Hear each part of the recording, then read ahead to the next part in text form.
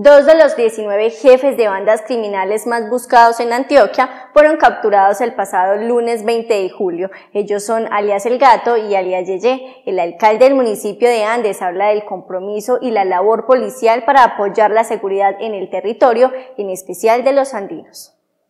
A comienzos del 2020, las autoridades hicieron público el cartel de los más buscados en Antioquia, ofreciendo recompensas hasta de 87 millones de pesos a quien brindara información que permitiera la captura de los 19 jefes de estructuras criminales. Este 20 de julio se dio la captura de dos de ellos, alias El Gato y alias Yeye.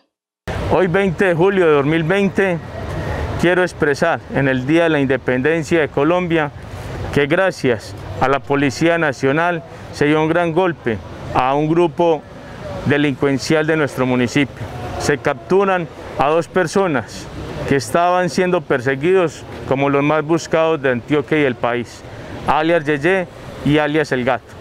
Y ello significa que vamos a seguir trabajando en alianza con la fuerza pública para seguir dando estos resultados y así que todos los andinos sientan la presencia del Estado y sientan también seguridad en cada una de sus veredas, en cada uno de sus corregimientos y por supuesto en los sectores de nuestro municipio. Los 19 que integran el cartel están sindicados de diferentes delitos en todas las regiones del departamento de Antioquia, desde homicidio, desplazamiento forzado, concierto para delinquir, extorsión y tráfico de estupefacientes, como lo mencionó el 4 de febrero de 2020 el coronel Jorge Miguel Cabra, comandante de la Policía de Antioquia, en los medios regionales.